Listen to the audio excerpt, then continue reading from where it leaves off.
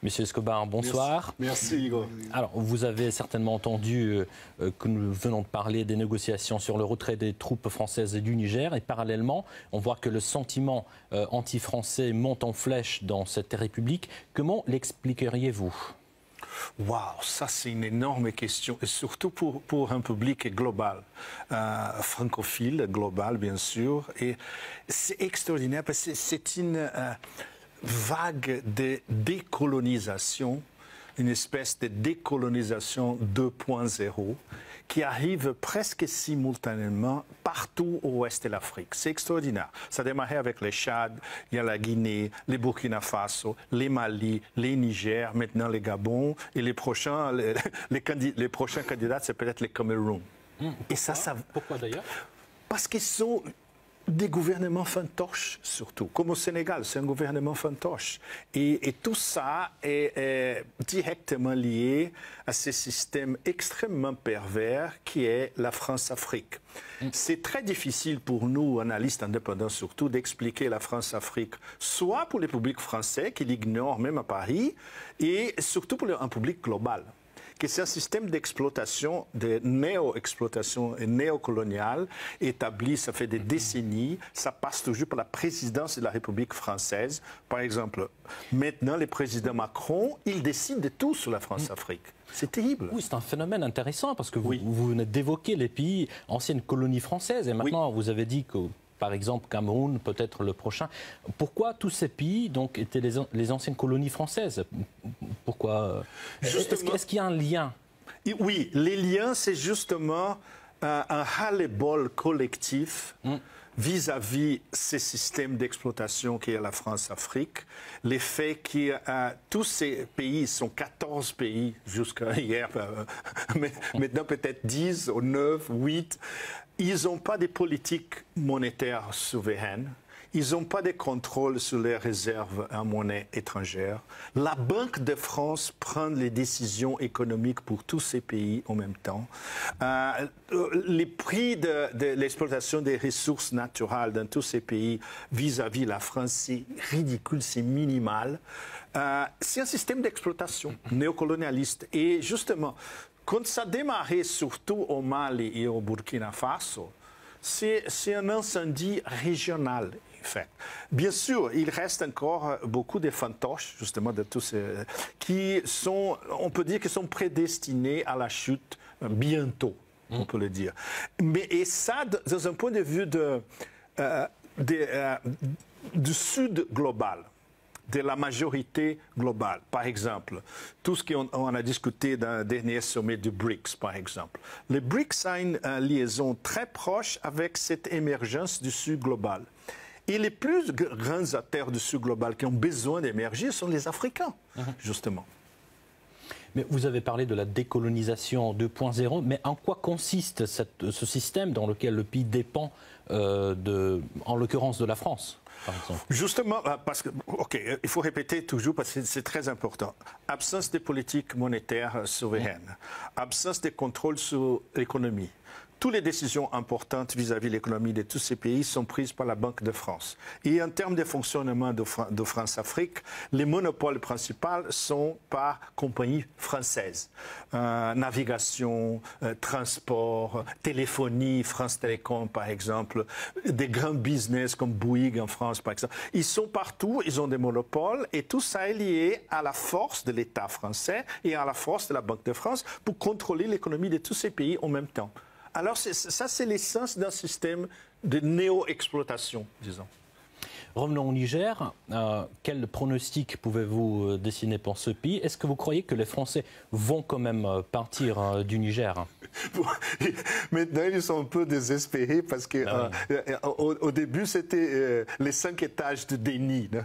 Et maintenant, ils commencent à accepter hm, peut-être ça va, ça va pas très bien, on a besoin de faire un deal et tout ça. Maintenant, au moins, il y a, disons, une négociation un peu floue on ne sait pas, hein, euh, euh, caché.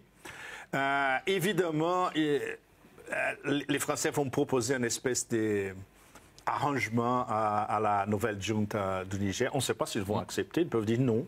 on, veut vous expulser complètement. Vous pouvez garder quelques soldats ici, mais c'est tout. Et surtout, finir avec les systèmes d'exploitation économique. Mais est-ce que le Niger a des moyens pour les faire hein, quitter le pays?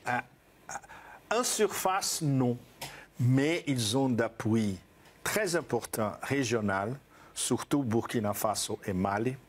Ils ont un soutien un peu plus longtemps, mais très proche de l'Algérie. Mm. Et surtout, ils ont les soutiens les mecs derrière que sont les poids lourds vraiment, la Russie et la Chine. Soutien diplomatique, bien sûr, il y a un soutien économique à, court, moyen, long terme. Mais, euh, par exemple, Burkina Faso, les relations avec la Russie sont excellentes. Euh, les commandants Traoré, et maintenant, il est regardé partout dans les Sud global comme un nouveau Thomas Sankara, un nouveau leader du Sud global émergent.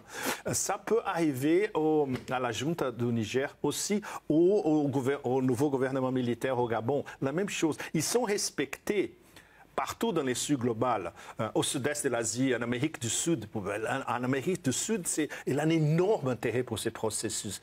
Parce que c'est un processus qu'en en Amérique du Sud et latine, euh, il y a encore des instances de néocolonisation par l'Europe, par les États-Unis. On ne peut pas dire que la plupart des pays de l'Amérique latine sont complètement souverains. Ce n'est pas le cas. Alors, ils comprennent la problématique africaine très, très bien aussi. Alors c'est un processus, disons, qui, tous les sud global a les yeux rivés sur l'Afrique. Maintenant, c'est euh, l'étincelle pour l'explosion d'un renouveau du sud global. Maintenant, elle est en Afrique. Alors, justement, vous venez de le parler, de la Russie et de la Chine en Afrique. On va revenir au coup d'État tout à l'heure. Oui. Mais tant que vous l'avez mentionné, quel est donc pour vous le rôle de la Russie et de la Chine en Afrique? C'est un rôle d'appui diplomatique, c'est un rôle de comprendre les problématiques des pays individuellement et aussi de la région globalement. Par exemple, pendant le, sommet du BRICS, euh, il, y avait il, y a eu des discussions très pointues sur l'Afrique et surtout euh, les processus d'accession des nouveaux membres de l'Afrique. Par, exemple, on a pour l'instant trois membres de l'Afrique. Afrique du Sud, Égypte et Éthiopie. L'année prochaine, euh, au sommet de BRICS en Kazan, ici en Russie, il y aura plus, encore 3 plus, 6, 6 ou même 9, tout est mm. possible.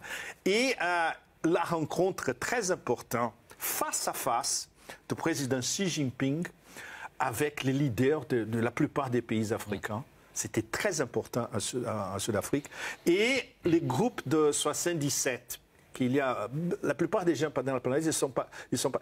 Les groupes de, 77, c'est les nouveaux mouvements des non alignés.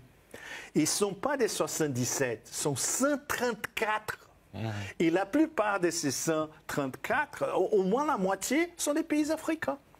Alors il y a l'intérêt de la Chine de courtiser l'émergence de ce global, comme dans les sommets Russie-Afrique ici, il y a un peu, plus d'un mois, la même chose. Alors, les efforts de la diplomatie russo-chinoise, qui sont toujours en synchronie très, très proche, on va courtiser nos partenaires du Sud global émergent et ça veut dire tous les continents africains.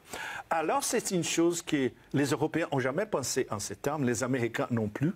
Euh, euh, par exemple, l'axe des Américains en Afrique, c'est faire un commandement militaire l'Africon.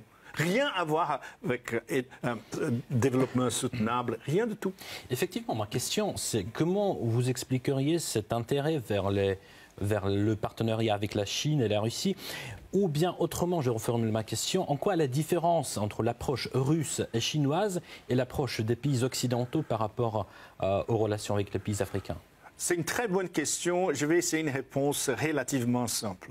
L'approche euh, européenne, c'était toujours néocoloniale. L'approche américaine, c'était militaire.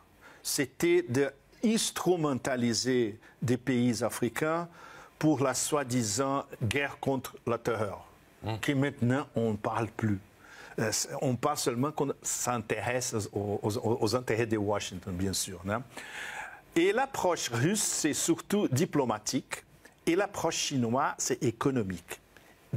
D'investissement et de fournir les bases d'une infrastructure pour la plupart de ces pays, pour les lier, les soi-disant couloirs économiques des connectivités comme l'expliquent les Chinois. Ça veut dire la plupart de ces pays, ils font partie de la nouvelle route de la soie.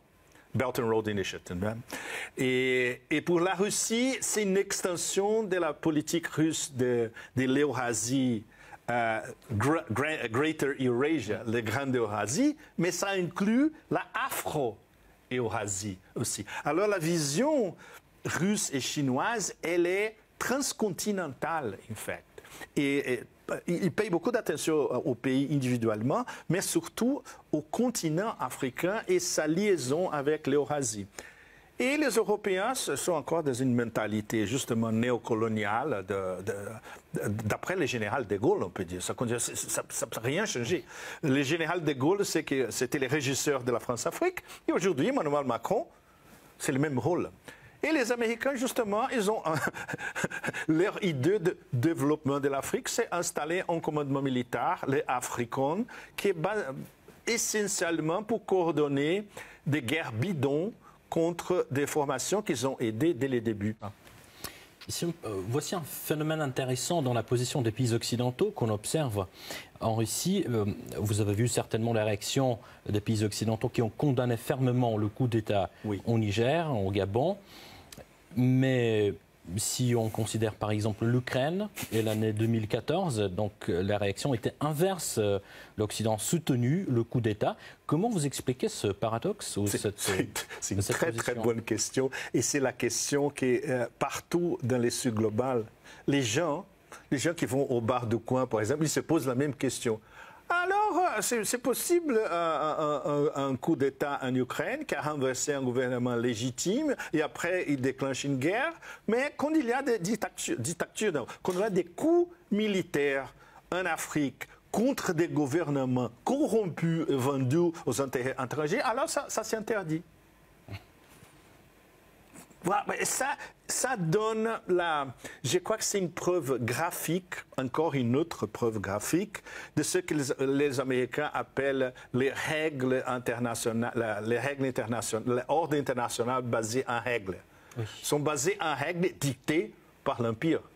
Et c'est l'Empire qui décide quel coup c'est possible, quel coup c'est pas possible, quel est le terreur. Le terreur vient de ce acteur-là, mais pas de ces acteurs-là parce qu'ils sont à nous. Mm. Et tout ça. Et toutes ces règles sont arbitraires, comme euh, les, les, euh, les, ministres des Relations extérieures, Sergei Lavrov, dit pratiquement tous les jours. Ce sont les règles qu'ils établissent. Pour le reste du monde, pour la majorité globale, et même pour nous, une grande puissance nucléaire comme la Russie, et même pour les Chinois, la plus grande économie du monde, non, les règles ne s'appliquent pas. Sommes nous qui décidons. Mais maintenant, c'est un empire qui est en descente, alors ils ne peuvent, ils peuvent pas décider, et même en Afrique, ils sont étonnés par tout ce qui se passe. Et bien sûr, il n'y a pas une politique américaine vis-à-vis de l'Afrique, à part justement cette politique d'un commandement militaire. Bonjour les enfants, c'est papa. Bienvenue dans le troisième podcast de la journée, les enfants. Bienvenue, bienvenue à la clinique. Et là, on était totalement en Russie, quoi.